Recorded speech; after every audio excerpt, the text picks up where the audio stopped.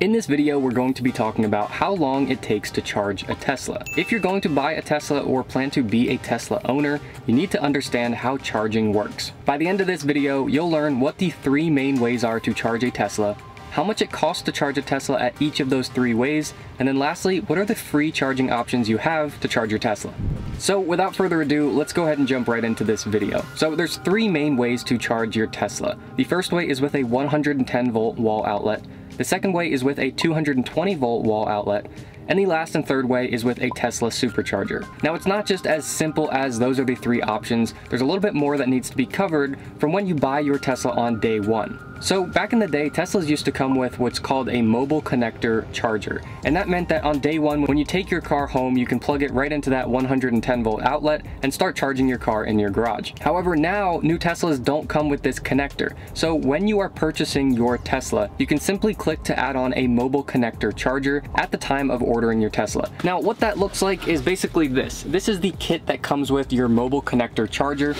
And basically you get your charger inside and then you get two adapters. One's for a 110 volt outlet and one's for a 220 volt outlet. Now essentially the charger is just this part here, but at the top you can plug in the different adapters. So if you're charging at a 110 volt outlet, you simply use this adapter.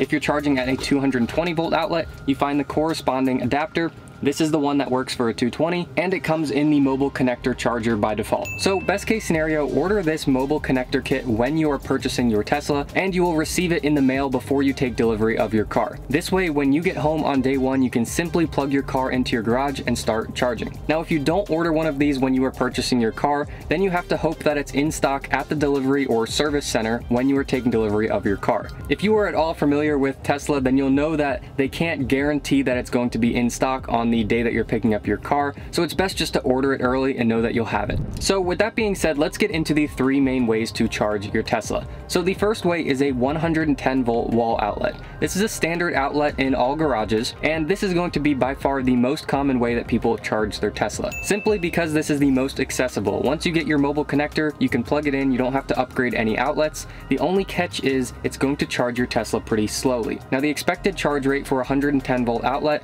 is anywhere between 3 and 5 miles per hour of charging. So if you plug your car in for 10 hours overnight to charge, you're going to pick up 30 to 50 miles of range overnight by using a 110 volt outlet. Now moving on to the second main way that you can charge a Tesla, that is with a 220 volt wall outlet. Now although you will need to either have one of these outlets already installed in your garage or pay an electrician to come install one, which will cost you a couple hundred dollars to do so, this is by far the best way of charging your Tesla. So ideally you want to be charging with a 220 volt outlet because it charges a lot faster than that 110 volt outlet, but not too fast where it's harming the battery. The expected charge rate with a 220 volt outlet is anywhere between 20 and 40 miles per hour of charging. That means if you're plugging your car in for 10 hours overnight, you will pick up 200 to 400 miles of range, and essentially that's a full tank for a Tesla. Now lastly, moving on to the third main way to charge a Tesla, that is with a Tesla supercharger. Essentially, Tesla superchargers are like gas stations along the road. These are by far the fastest way to charge a Tesla, However, it's not the best for the car's battery. Now, if you are charging at a Tesla supercharger, you can expect to get over 1,000 miles per hour of charging. Essentially, what that means is it'll take you anywhere from 15 to 30 minutes of charging your car at a supercharger to essentially fill the battery. Now, one catch here that a lot of people don't realize with Teslas is that Teslas will charge the fastest on a supercharger when the battery is very empty.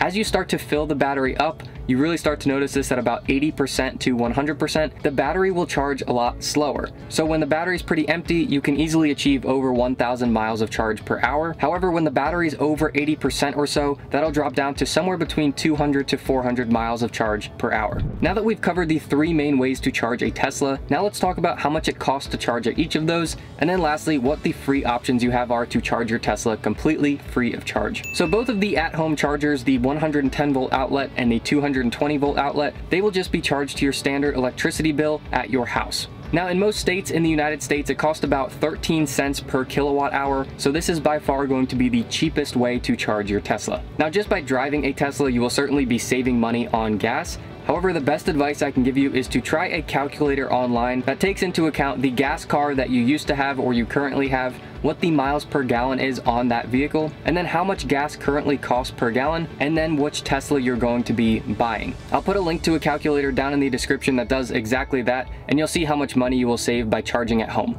So with that said, if you're not charging at home, your other option is a Tesla supercharger. Now, these are more expensive. Basically, you get charged to your credit card, which is the card on file with your Tesla account and this all happens automatically. So you just pull up to the Tesla supercharger, plug your car in, and when you're done, your account automatically is billed. Now the cost on these superchargers varies by location and by state but the rough average I can give you is charging at a supercharger is two to three times more expensive than charging at home. In my area, it costs between 20 and 45 cents per kilowatt hour to charge at a supercharger. Additionally, some superchargers have on-peak and off-peak charging hours where the price per kilowatt hour either goes up or goes down, trying to encourage people not to charge when it's super busy. So now that you know the cost of charging, let's get into the free charging options. This is the best of both worlds. If you have a Tesla, you can potentially never pay for for fuel again. So the two options you really have here for free charging are public chargers and hotel chargers. So essentially what that means is public chargers are 220 volt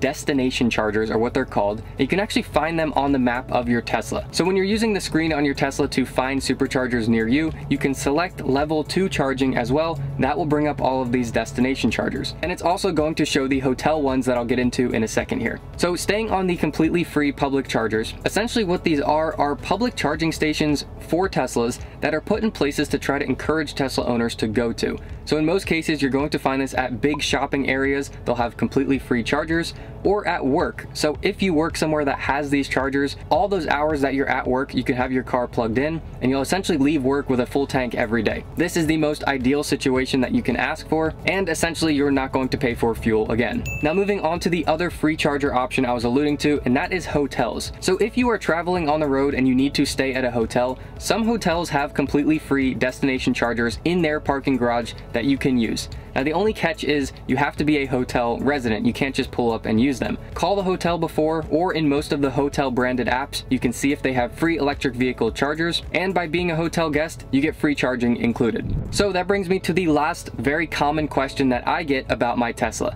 and that is can you do a road trip in a Tesla? Well, the short answer is yes. I've driven across the United States in my Tesla and the only downside really is that you have to stop every two to three hours at a supercharger. That's about as far as you can go on a full tank driving on the highway. The superchargers are for the most part in really good locations. So every couple hours you stop to plug in your car to charge. It takes about 15-20 minutes, but while that's charging, you can go inside typically at a Wawa gas station or near a Target or a Whole Foods, and you can get some food, use the restroom, and it's pretty nice to stretch your legs every couple hours. The really nice thing is that you don't have to plan your route and always look up gas stations of where to go. Essentially, you put in your end destination, that could be the complete other side of the country. The Tesla thinks for a little bit and then it routes you through all the superchargers based on how much capacity you have in your battery and all of the thinking is done for you. And a nice little bonus is if you're staying at hotels through this road trip, see which ones have the free electric vehicle chargers in their parking garages, and then you'll wake up the next day with a completely full tank of fuel that you didn't pay for.